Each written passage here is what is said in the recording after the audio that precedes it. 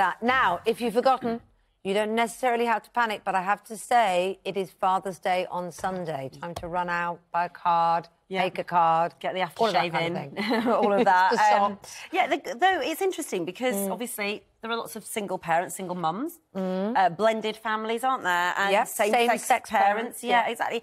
The question really, I think many are asking, or some people are asking, is it time to be more inclusive and, and sort of get rid of these, you know, Father's Day and even get rid of Mother's Day in a sense? Is to do it? Should we be appreciating parents all year round and not make it feel awkward for those children who maybe don't have a dad at school because that's sort of the way life is. Here's what you think.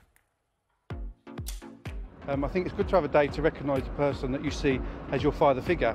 I mean, I've sent my mum a card this year that's saying thank you for being a mum and dad. Well, we don't celebrate Father's Day because my husband doesn't agree with it because he says it's a commercial and he should be celebrated all the time. There's so many good fathers out there like my dad. Um, so I think it should be celebrated as well as Mother's Day. It's terribly important. These, uh, these traditions should be upheld and uh, forever. And my father's going to have a good time on Father's Day. He'll be, he looks forward to it every year. So I think we should keep it going.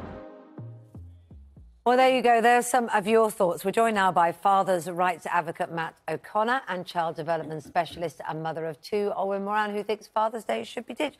Good to speak to both of you. Why should we get rid of it? Why not give dads a day?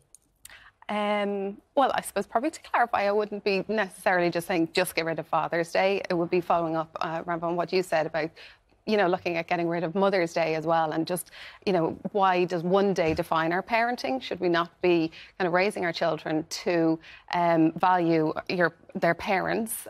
all year round and really kind of put the emphasis on your parenting style because children learn from model behaviour from parents. So, you know, respectful parenting, you're going to bring up respectful children, not commercial kind of materialistic uh, based But Father's Day